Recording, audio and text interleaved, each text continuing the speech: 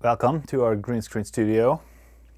Don't look around too much. We're in the middle of construction, so I know it's a mess. But today I'm building movable, rolling, acoustic blanket wall panels that we can use to move around in the studio and help with our sound and echo. Now this is a big room and what you see is only quarter of it. So when we shoot, usually Jeb stands right here, and this is the camera that's shooting him.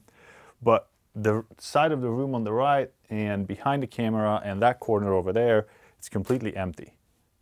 So we have echo, obviously, because these walls are painted, not fabric, so they do reflect sound. We do have some panels, but they are definitely not enough. So I found this solution from Caleb Pike, DSLR video shooter. He made these for himself and he put up a guide. So I decided to build the exact same ones because I spent months looking for something like this and I couldn't find anything. But his solution was perfect. I did run into a couple of issues. So if you watch his video, which I'm going to link up here or, or here, the way he built it, uh, it looks like that he's using his old blankets if I remember correctly, when he built the top railing, he used five carabiners and hooks to mount his blanket. Now the blankets I bought today, well actually not today, but this week, have eight grommets instead of five. So when I purchased everything beforehand and I arrived to the studio where my package was waiting, I realized that I don't have enough of anything. So I had to go back and buy some more. That's one. The second one, the screw that you need for the Kupo mount, which you didn't say specifically, I already have it installed right here, is a half inch screw that is two inches long and you need two fender washers, pretty standard. And when you drill the hole, you don't need to drill 5 eighths. You can just drill a half inch hole. It will make it a little bit more stable. Also, these blankets are sold as 6 by 6 So when you go to, let me show you.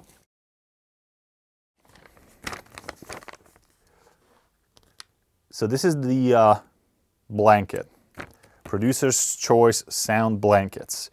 I purchased the one that's black on one side with grommets and white on the other because I want to use these for light reflectors too. Now these are advertised as 6x6, so as he says in the video, you have to buy a an oak board that's six foot. Unfortunately, these blankets, well not unfortunately, they are larger. So I bought six foot oak boards, but they were short because if you measure these, the blankets should be 72 by 72 inches as six foot should be, but if you measure these, these are more like 77 to 80. So actually closer to seven feet. So I had to go back and exchange the boards I bought to seven feet boards. And these have just a tiny bit overlap on, the, on, on both sides if you mount it in the middle. His mounting solutions uh, were carabiners put into these screw eyes. So I also purchased the carabiners, and screw eyes. Now, because I needed a whole lot, I realized this is going to be really expensive. So I think a better and cheaper solution would be to get screw hooks. These are size 6. I measured it, they fit, so you can just drill holes, put these into the wood board and hang the blanket on it. I don't see a major difference in flexibility. You can still take it off and flip it over if you're only mounting one blanket or if you want to put it into storage. So I'm going to do both because I already purchased both. Drilling and everything should be fairly simple. The rolling stand is exactly the same impact that he used in the guide. We actually use this for our light stand, so the light that lighting me right now and the talent when Jeb's here is the exact same uh, rolling impact, eight and a half feet tall stands. They also have an 11 feet version, but that would be overkill for a blanket that's only seven feet. So this would be more than enough. And these are really extremely sturdy. You can put some sandbags on it if you want to make sure that they don't trip. So this sound blanket is going to be good for home use if you do live streams or Zoom meetings or whatnot. You can position it right next to you to create two walls. So basically you need two and you just put it outside of your frame. But because you're sitting between them, there's no echo bouncing off. Uh, if you want to, depending on your room situation, you can put behind your camera too. And especially if you're recording in big open rooms in your house. Those tend to be really echoey and these help a lot. Put it in front of windows and doors to kill the reflection. Now his video has a bunch of sound tests that shows the difference very well, so I'm not gonna go into that.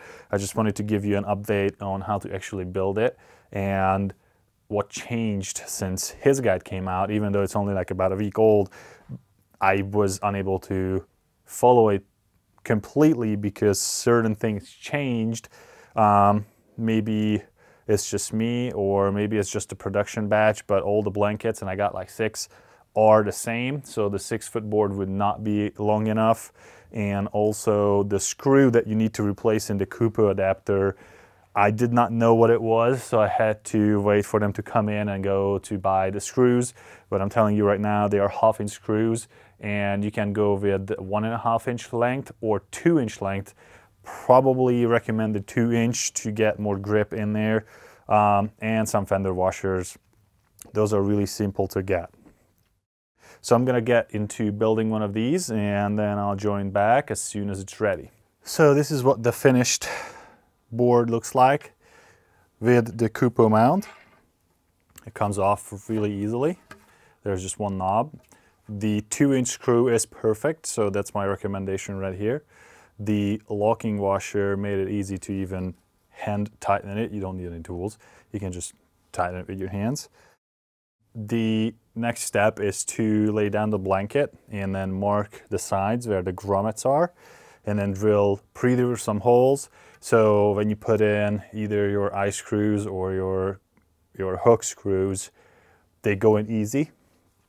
And depending on if you're doing a double-sided or a single-sided, you have to do it on both sides. Now this one is going to be a double-sided, uh, the rest is going to be single-sided. If you're doing a double-sided, it you can hang one black on one side and one white on the other, so you don't have to take it off and put it back on backwards. You can just swap it over to switch sides. It's really fast. If you're only using one side because you need more light or less light, just put that side on it on one side. Don't worry about the rest. And especially if you're putting it next to a wall where the other side doesn't matter. But since we're heavy, heavy have an open space, if we have this in the side like here, then we can use it for both sides. So it doesn't matter which side we're recording on, we don't need to do some magic and flip them over, it works. So in this studio, I'm gonna have a double-sided. In the other two studio that we're building, single-sided is fine because those studios are smaller and they have a specific purpose. So when we have these ready and we close the doors, we can just move it right in front of the door and have that completely sealed so we don't have reflected sound coming from the door surface. And lock it up and good to go. Let's do some more drilling. Ladies and gentlemen, the first acoustic blanket on rolling wheels is ready. It did take me some time to drill all those holes because you have to drill 16 holes and then put the eyelet in and then attach the blanket. But it turned out pretty good. Now, got orange carabiners because sales gravy. And if I turn this around, you'll see the other side is white. And what it does is because I have lights coming from there and there, if I look at this way, I get light reflected on me. So it should fill up the right side of my face.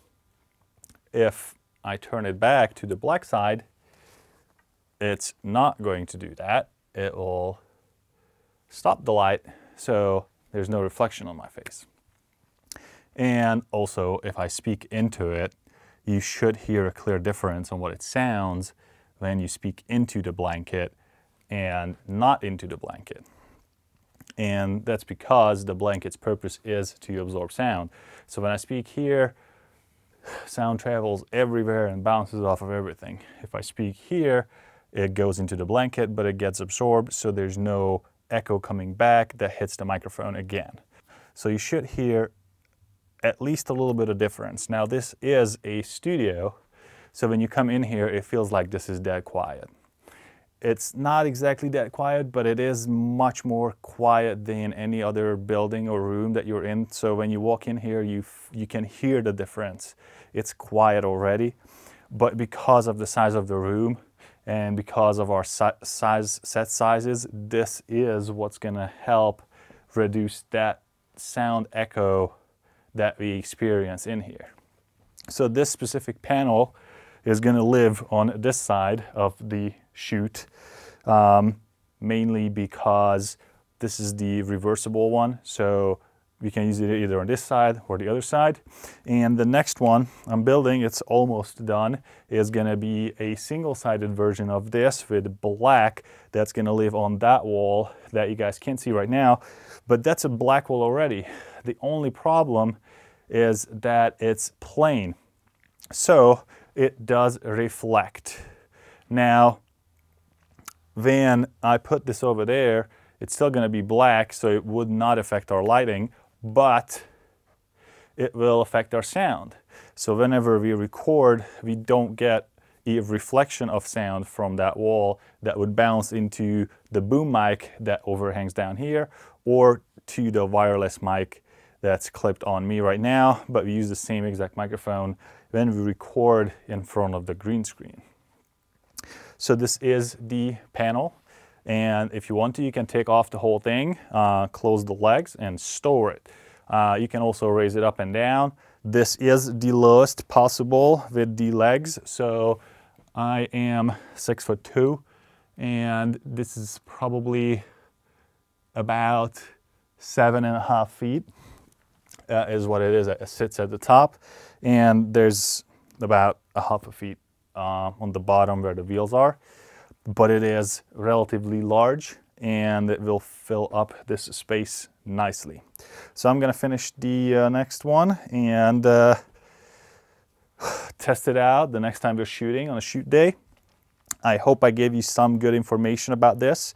And if you're building something like this, make sure you send a thank you message to Caleb Pike at DSLR Video Shooter and maybe also me, just because I had to add a couple things to this. But I have to say that it definitely works. It definitely is a nice sound absorbing blanket and the price is very reasonable. When I looked up sound absorbing panels for studios, they came out to about 400 a piece for a 4x2 uh, panel on a stand. Now we would have needed a lot more of those to cover these sections and these stands with the two blankets, including the rolling stand and all the materials, will run you uh, about $300. If you only do a single-sided blanket, so you don't put two on it, just one, and you want to flip it around when you need it, then you can save $50. They run about 40 something plus shipping. And if you don't need a rolling stand, you can save about $50 on the stand that just stands. Now, if it's a permanent setup, that might be a good solution for you or your room or your studio. If you want to roll it or if you want to use it in multiple rooms, then this is definitely the way to go because if I wanted to take this apart because we're shooting in the next studio, I can take it apart in a minute, move everything over, build it up again, and it's ready to go. It will take me less than two minutes to do this to move it from one studio to the other. Finish the second panel. It's right there on the wall. I know you probably can't see it. Maybe you can. Uh, the white side is facing to the wall, the black one facing me. So currently, if I stand in the middle, these should affect the way my sound is. I definitely like how they turned out. they are easy to move. And if we wanted to make a smaller set or a bigger set, we can easily expand and move them or use multiple. But these are also good if you're not in a studio. So I recommend this highly to anybody who records video or any type of audio in their homes or office because if you have something like this that you can move and easily break down and take you, then you can get much higher quality audio recorded basically anywhere. And especially true if you have echo in your sound. So thanks for watching again. And I hope you enjoyed this video.